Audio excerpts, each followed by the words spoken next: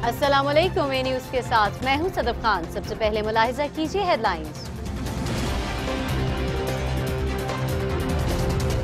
वज़ीर आज़म नवाज़ शरीफ ने चश्मा थ्री न्यूक्लियर पावर प्लांट का इफ्तः कर दिया। मंसूबे से 340 मेगावाट बिजली हासिल होगी। सिंध हाईकोर्ट ने IG Sindh police AD Khawaja को उनके ओहदे पर हुक्म इम्तनाई के ज़रिए बहाल कर दिया।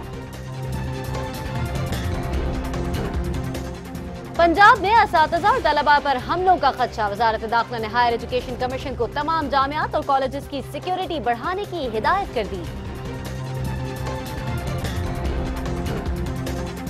पाकिस्तान स्टॉक एक्सचेंज में ज़बरदस्त तेज़ी। 100 इंडेक्स में 438 पॉइंट्स का इजाफा। इंडेक्स इस वक्त सैतालीस हज़ार तीन सौ चौवन की सतह पर ट्रेड कर रहा है।